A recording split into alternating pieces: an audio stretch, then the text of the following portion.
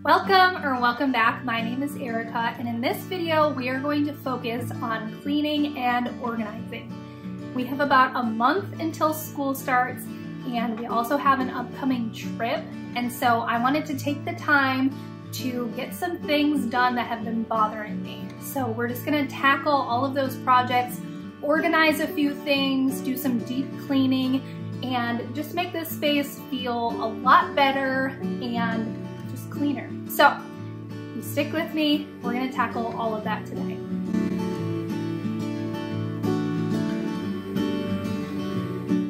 So this major deep clean of my house is kind of random. And really the major things that were bothering me is the dust, specifically on these lights. I don't know the last time I dusted them, and to be honest, a lot of these projects, I'm a little bit ashamed that I let them get this way. Like, for instance, here in my bathroom, these two containers just kind of stay put and I clean around them. And I tend to do that a lot. And it's kind of lazy, but it's also just I'm trying to get things clean. And so I'll clean up the surfaces that we're actually using and not really move things to clean underneath them. So this space really desperately needed a good cleaning and dusting and so I went ahead and cleaned the counters and cleaned the actual, I don't know, it's like a crate and then that basket. My other goal with this whole thing was to really just minimize and declutter a little bit. You know, we tend to just throw things in the closet or throw things here and there and not really take the time to consolidate things. And so I just wanted to do that. Not that I really got rid of anything in this area in particular, but I kind of just rearranged things to make the flow a little better. So I put all the hair stuff together, all the lotions and skincare together. And then the other basket has, you know, our cotton balls and Q-tips and uh, hair ties and stuff like that. And honestly, this didn't take that long, but it really made a huge difference. And it just made it feel even that more clean.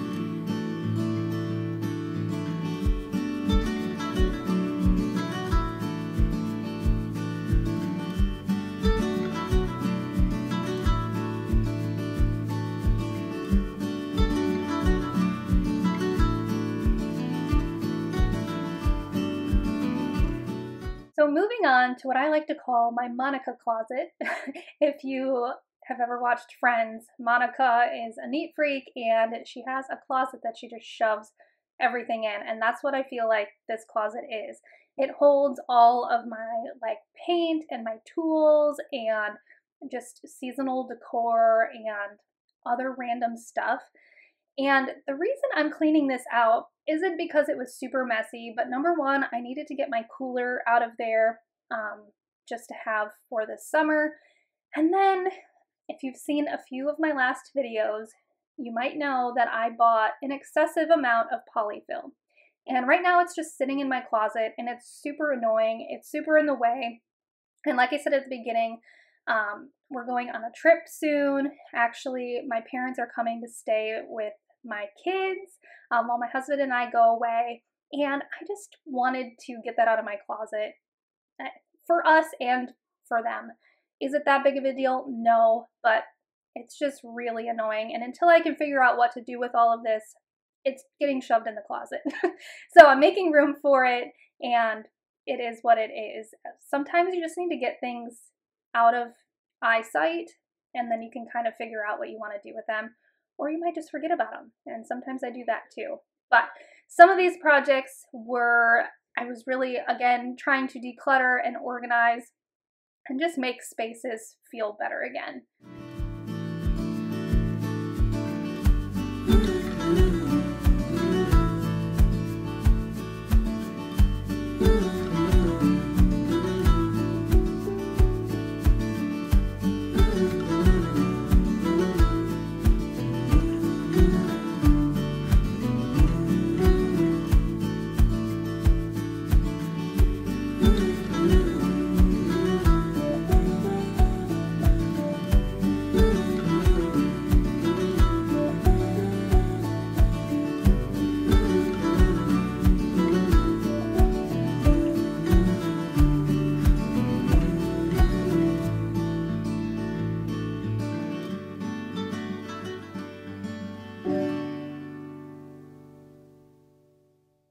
So next up was a kitchen project, and you might be seeing a theme that kind of all of these are leading to other things. So I finished the closet and I got my cooler out, and now I need to make space for my cooler.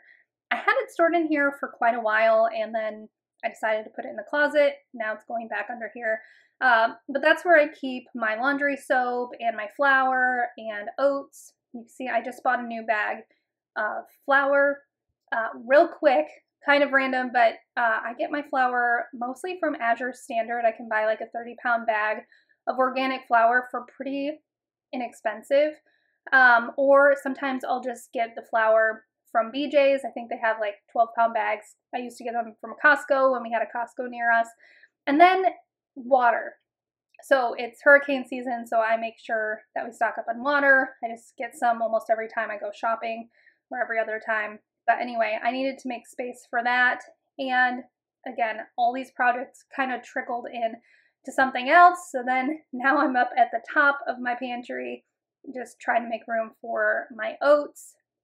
If you were here a few months ago, I reorganized everything and I've kept it pretty clean and organized, but just moving stuff around. And now it fits, it all looks nice, and we're moving on. The next thing in the kitchen was this cabinet.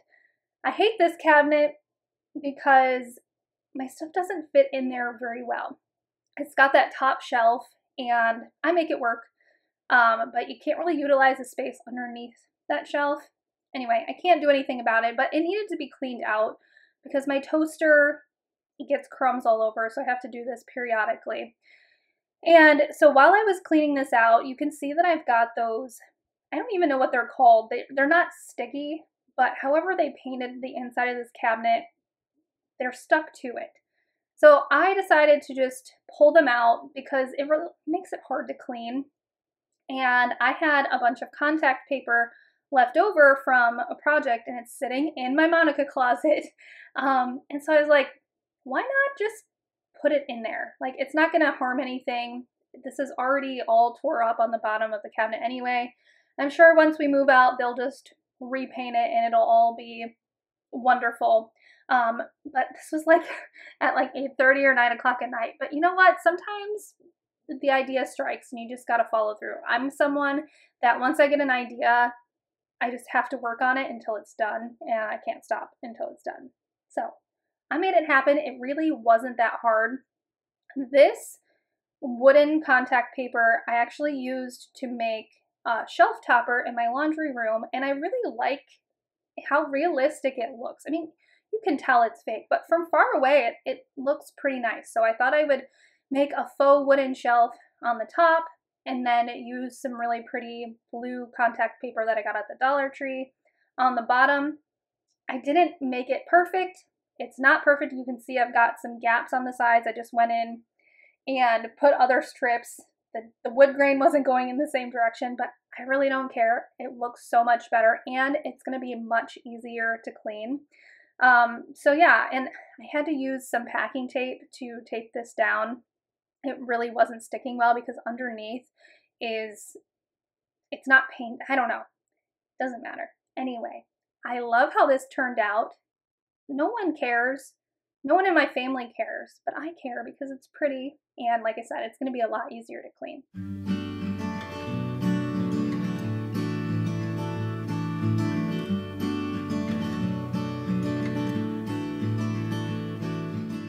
So, day two of this massive clean, I am now mostly focusing on the deep cleaning aspects more than I am organizing.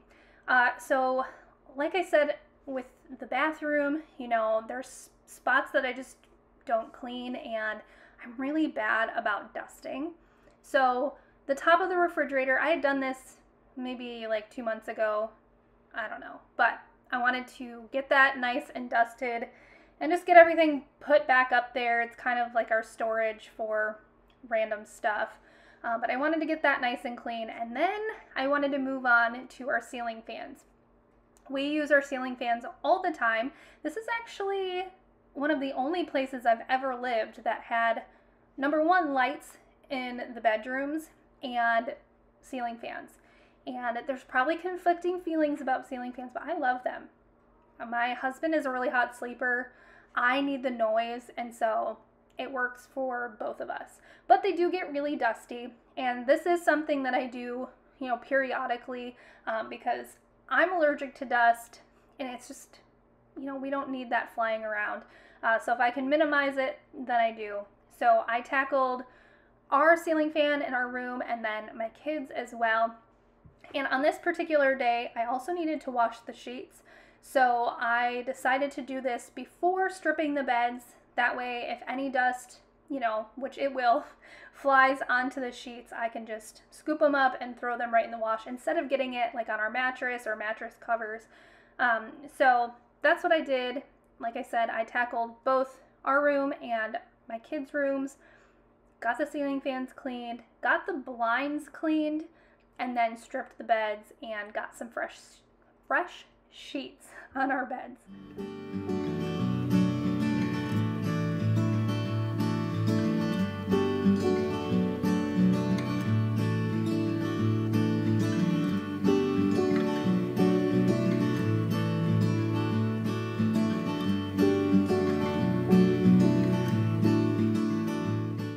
So now that all the dusting is done, I need to address the floors. It's been about a week since I mopped, so I need to first vacuum and then we're gonna mop all the floors. Uh, now I wanna talk really quick about this vacuum. So I was in a pinch because my vacuum had died and I need, just needed something quick. And I was looking on Amazon and came across this little vacuum. I think it was like 30 bucks. And it's awesome it, it works so good. We've got all wood floors and just two rugs, uh, and it works great on the bare floors. Not so much the rugs, it, it works just fine, you know, I get by. But if you've got all wood floors or tile or whatever, check this out. I can't recommend it enough, especially when you're in a pinch. And honestly, if it dies after a year, I don't care too much because it was only $30. I hope it lasts longer than that, of course. But anyway, so we've got everything vacuumed and now I'm on to mopping. And the solution that I use is hot water, a little bit of dish soap, some alcohol, uh, vinegar, and then I'm just doing essential oils this time. And this mop system is the O-Cedar. You, you know, you put the mop in and you spin it around and it gets all the excess water out of the mop head and I absolutely love it. I have gone through so many different options for mops. Um, I came for where we used to live, it was all carpet and only just a little bit of wood. Now I have all wood. And so I went through the Swiffer, the Swiffer Wet Jet. I did the O-Cedar spray mop, which I do love, but it just, I didn't feel like it was cleaning my floors enough. That's more for like spot cleaning and stuff. So I finally got this and I absolutely love it. It works so well. I highly recommend it um, if you've never used one and you've got a lot to mop.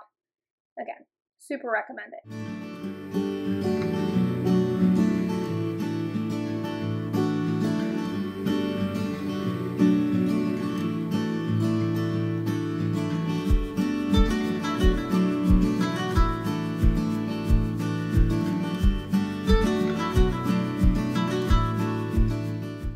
Now we are on to the final project, which is tackling the linen closet in my bathroom. Now, I do keep this fairly organized.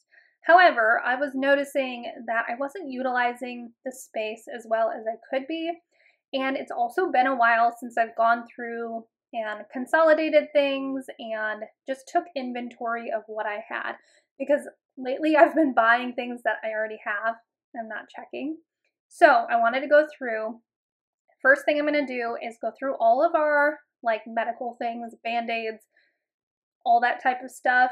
And if you haven't done that in a while, I highly recommend that you do because I don't know about you, but a lot of times we'll buy things that, you know, you only need for one. Like somebody got a specific injury and we needed, I don't know what it was, whatever it might be, or like a sickness or all kinds of things and then you don't use them again and they expire and you just are hanging on to them. Or somebody used the last band aid and didn't throw the, the box away or whatever it might be. So I highly recommend just go do it, go through it, get rid of the things that are expired or that, you know, empty boxes, I was able to consolidate everything into this bigger bin. So I removed two bins and just put one back. And so that felt really good. I, I like doing stuff like that. It just makes it feel more organized and it makes you feel like, you know, you got rid of some stuff. The other bin that I really needed to tackle was this one, and this is where we keep all of our extra stuff. So extra soap, extra toothpaste, you know, flossers, whatever. Um, and I've realized that we have so much stuff from the dentist. We every time we go, we all get the toothpaste and all the things, and it just sits in this bin, and we don't do anything with it. And I learned that floss expires. Toothpaste does too, obviously, but like some of these we, we've only been going to this particular dentist for the last like two and a half years and all of these were expired i shouldn't say all but a lot of them were expired already. I had no idea they expired.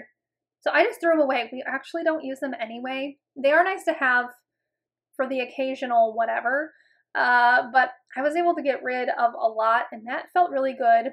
I was able to use these little bags that we get from the dentist as well and just store extra toothbrushes and the toothpaste and everything.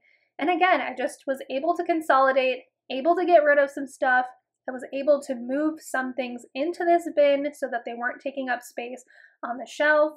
And it just feels better. It feels good.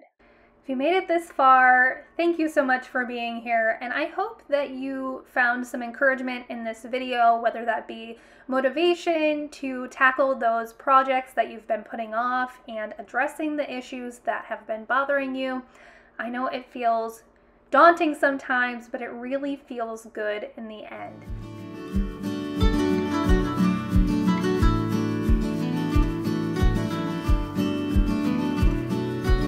Thank you so much for being here. I really, really appreciate you. If you stay tuned to my next video, I'm going to be doing a sit down coffee chat where I talk about how I tackle cleaning and all the things that go along with it. So make sure you stay tuned for that. That'll be coming on Friday. But again, thank you so much for being here. If you wanna see more videos like this, make sure that you hit the subscribe button, turn that bell notification on so that you're notified every time I upload a new video. But I will see you next time and I hope you have a great rest of your day.